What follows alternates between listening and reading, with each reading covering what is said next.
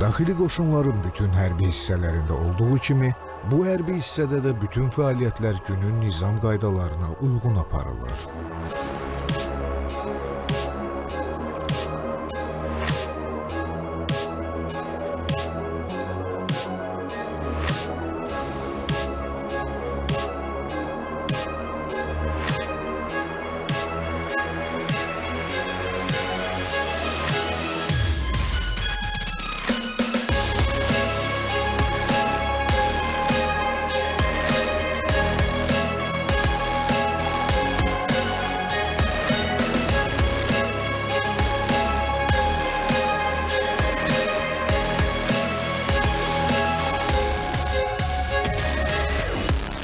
Gün ərzində e, siz tərəfdən hansı məşğələlər keçirilir?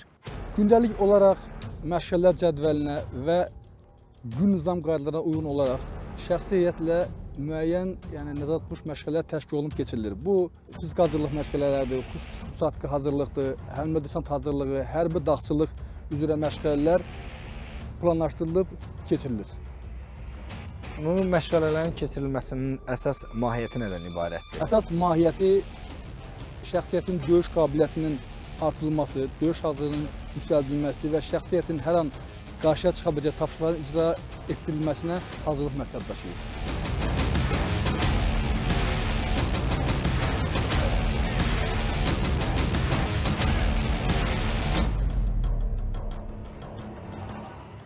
Günün nizam qaydasının məcburi elementi, ayrılmaz və önəmli hissəsi idmandır. Hərbi qulluqçuların təlim və döyüş tapşırıqlarını yerinə yetirməsi üçün fiziki cəhətdən güclü olmaları əsas şərtdir. Fiziki hazırlıq hərbi qulluqçuların döyüş qabiliyyətinin yüksəldilməsi istiqamətlərindən biri olmaqla onun mühüm və ayrılmaz hissəsidir. Qüvvətli və dözümlü hərbiçi istənilən tapşırığı uğurla icra edir. Hər idman növü müəyyən dərəcədə dözümlülüyü artırır. Fiziki hazırlıq döyüş hazırlığının tərkib hissəsidir. Buna görə də hərbi qulluqçuların fiziki hazırlığının artırılması daimi olaraq diqqətdə saxlanılır. İdman məşğələlərinin səmərəli keçirilməsi üçün bütün imkan və vasitələrdən istifadə edilir.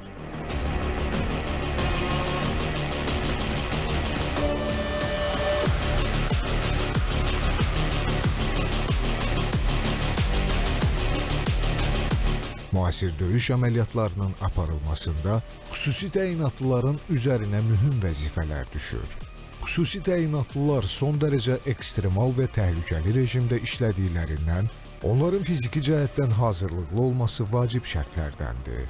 Komandanlığın döyüş tapşırıqlarının düzgün və vaxtında yerinə yetirilməsi hər bir əskər və zabitdən yüksək nəzəri hərbi bili ilə yanaşı fiziki psixoloji hazırlıq da tələb edir.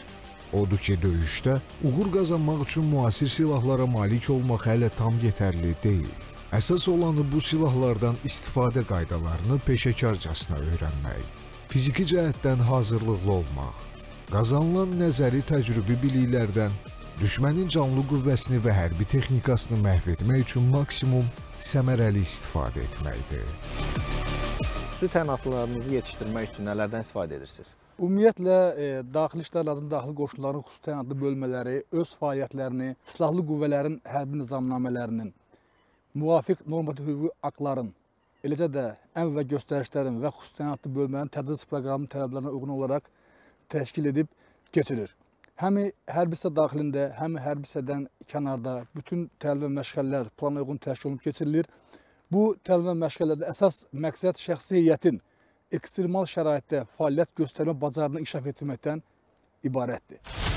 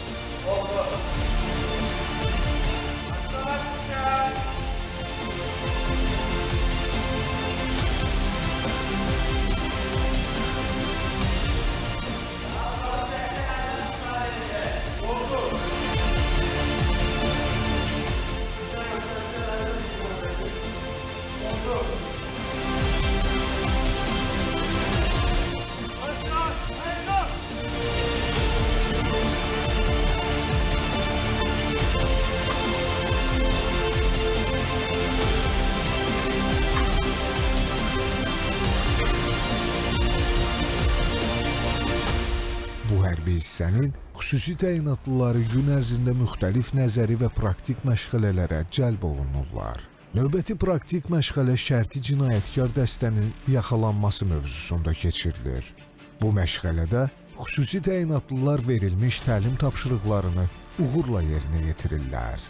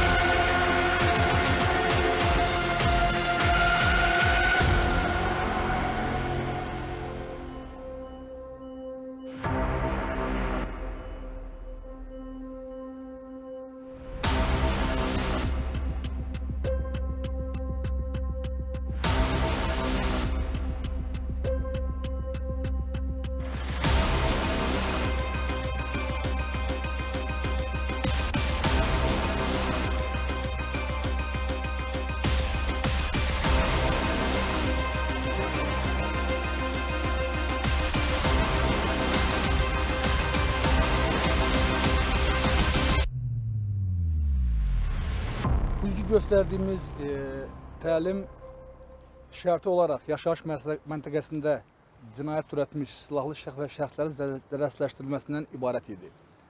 Bunun üçün də şərt olaraq e, hərbi hissəyə 4 nəfərdən ibarət silahlı şəxslərin cinayət törədərək şərti rayonda gizlənməsi barədə məlumat daxil olmuşdu. Dəst- dəstənin şəxsi heyəti həzər siqnalı ilə qaldırılaraq avtomobillərdə və zireh texnika istifadə edərək həmin əraziyə yürüyüş təşkil etmiş və ərazi nəzarətə götür götürülmüş. Sonra döyüş elementlərinə uyğun olaraq qruplar fəaliyyət göstərərək şərti silahlı şəxslər zərərsizləşdirərək müvafiq orqanlara təhvil verilmişdi. Daxili qoşunların xüsusi təyinatlıları Azərbaycan ordusunun digər hissə və bölmələri ilə birgə 44 günlük vətən müharibəsində aktiv iştirak etdilər. Cənab Kizir, Vətən müharibəsinin iştirakçısı olmusunuz. Sizin döyüş yolunuza nəzər yetirəlir. 27 sentyabr 2020-ci ildə düşmənin törətdiyi təxribat nəticəsində Silahlı Qüvvələrin Ali Baş Komandanı cənab prezidentimiz tərəfindən bütün orduya döyüş əmri verildi. Və mən də bir hərbi qulluqçu olaraq, daxili qoşunların mənsubu olaraq neçə ildir, uzun müddət idi onu gözləyirdim ki, mən də bu döyüşlərdə iştirak edeyəm. İlk döyüşümüz oldu Kəlbəcər rayonunun bir neçə yüksəkliyində və kəndlərində bu verilmiş tapşırıqları uğurla yetirdikdən sonra biz artıq gəldik Cəbrayıl rayonundan, Cəbrayılın neçə kəndlərini düşməndən azad etdik. Bizim növbəti tapşırığımız oldu Xocavənd rayonunun Hadrut qəsəbəsinin düşməndən təmizlənməsi. Tabur şəklində həmin döyüşlərə qatıldıq və döyüşümüz orada daha da uğurla alındı. E, Hadrutu demək olar ki, düşməndən təmizlədikdən sonra e, Xocavənd Hadrut yolu deyilən bir yer var. Hadruta gələn köməyin qarşısının alınması üzrə tapşırıq yenidən bizim taburun qarşısına qoyuldu yuxarı komandanlıq e, tərəfindən. Düşmənin ora atmadığı mərmi qalmadı. Topdan, tankdan və iri çaplı silahlarından bütün həmin o nöqtəni vurdular ki, biz o yoldan çəkilək. Bunlar rahatca girib öz ordusu ilə digər yerdə qalan hərbi qulluqçularına kömək eləsinlər. Və biz də onu imkan vermədik. Sayımızın onlardan az olmağına baxmayaraq və düşmən oradan çəkildi e, Xocavəndin kəndlərinə. Demək olar ki, düşmən hamısı yaşayış məntəqələrinə çəkildilər və bizim də döyüşlərimiz daha da çətinləşdi. Çünki biri var hər hansısa bir mövqedə oturmuş düşmənlə döyüş aparasan, biri də var ki, getdiyin yerdə bilmirsən, sağdan, soldan, binadan, həyətdən mərmi gəlir, güllə gəlir. E, o çətinliklərə baxmayaraq biz yenə də həmin kəndləri düşməndən təmizlədik, azad etdik.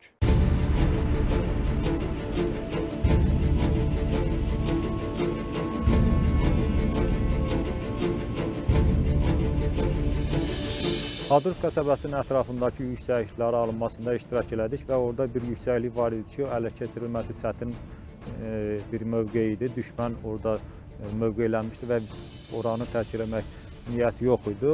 Bizim taborun üzərinə tapşırıq verdilər və biz ora hərəkət elədik. Demək olar ki, biz e, qarşı tərəfdə atəş dəstəyi yerləşdirdik və 6 hücum qrupu şəklində düşmənin arxa tərəfinə sızaraq arxadan dağa doğru hərəkət elədik, qalxdıq və həmin yüksəkliyin alınmasında düşmənin 3-5 metr yaxınlığına kimi arxadan yaxınlaşdıq və onlar bizi hiss eləmədi, bilmədilər. Əl qumbarlarına atdıq. Orada xeyli sayda düşmən təxribatçısını məhv etdik, yüksəkliyə ələ keçdik. Bizim yoldaşlarımızdan şəhid olanlarımız oldu. Priye Veysəvər, Allah rəhmət eləsin, qəhrəmancasına şəhid oldu. Xankişev Mədət qəhrəmancasına şəhid oldu. Allah rəhmət eləsin və biz onların qisasını aldıq əlbəttə ki. Ondan sonra neçə dənə kəndlər, qəsəbələr, yüksəkliklər aldıq və neçə-neçə düşməni məhv etdik. Şəhidlərimizin qanı yerdə qalmadı.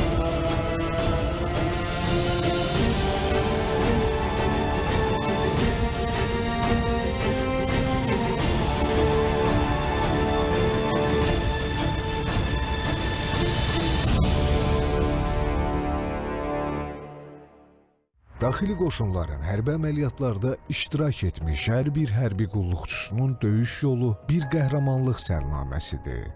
Cəbrayılda bir düşmən postuna yaxınlığı bir yer vardı. Biz ora getdik, komanda verdi ki, dağın tam yuxarı tərəfinə yəni yerləşməliyik. Biz ora çıxandan sonra düşmənin yəni bizdən qabaqda, qarşıda e, başqa bir dağın dağda düşmənin postunun olduğunu bildik. E, Düşmənin postunun olduğunu biləndən sonra biz meşədə, dağın başında meşədə mövqeləndik. Mövqeləndik və müşahidə eləməyə başladıq. Oradan e, bir müddət müşahidədən sonra e, onların təxmini sayını öyrəndik.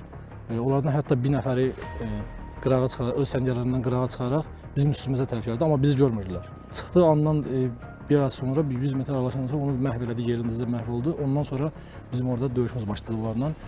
Onlar da orada hamısı məhv edildi. Düşmən postu alındı. Bu gün hərbiçilərimiz döyüş yollarından qürurla danışırlar. Kəlbədə istiqamətindən başlayaraq Suluq ərazisində döyüşlərə qatıldıq və öz qrupumuzla bərabər Füzulidən isə Cəbrayıl istiqamətinə Cəbrayıl azad olunmasının azad etdikdən sonra Hadrutun azad edilməsində döyüşlərə iştirak etmişəm və e, Şuşanın azad olunması uğrunda döyüşlərə qatılmışam. Şuşada yaralanmışam. Daxil qoşulan xüsusi tənqid dəstələrinin mənsubu kimi torpaqlarımızın işğaldan azad olunmasında yaxından iştirak etdiyim üçün e, fəxr duyuram. Döyüş yolu Füzuli istiqamətindən başlayıb, Füzulinin Landağ istiqamətində tapşırıqda olmuşuq. Orada əməliyyat keçirmişik. Düşmənin PKK postunu məhv edib və oradan Füzulinin şəhər istiqamətinə hərəkət etmiş. Şəhər istiqamətində də Karyer adlanan ərazidə düşmənin e, xeyli sayda canlı qüvvəsini məhv etmişik. Karyer istiqamətində döyüş tapşırığını yerinə yetirəndən sonra hərəkətimiz oldu e, Şuşa istiqaməti, Çanaqçı ilə Daşaltı istiqamətində, mərkəzində orada cəmləşib, oradan Şuşa istiqamətinə fəaliyyət göstərdi. Şuşa istiqamətində də 4 gün, 5 gün döyüş tapşırığı yerinə yetirmişik. Mən çox qürurluyam ki, vətənin torpaqlarının işğaldan azad olmasında iştirak etmişəm. Bu gün tam inamla demək olar ki, daxili qoşunlar üzərinə qoyulan tapşırıqları layiqincə yerinə yetirməyə qadir. Peşəkar heyətdən formalaşmış bir hərbi qurumdur.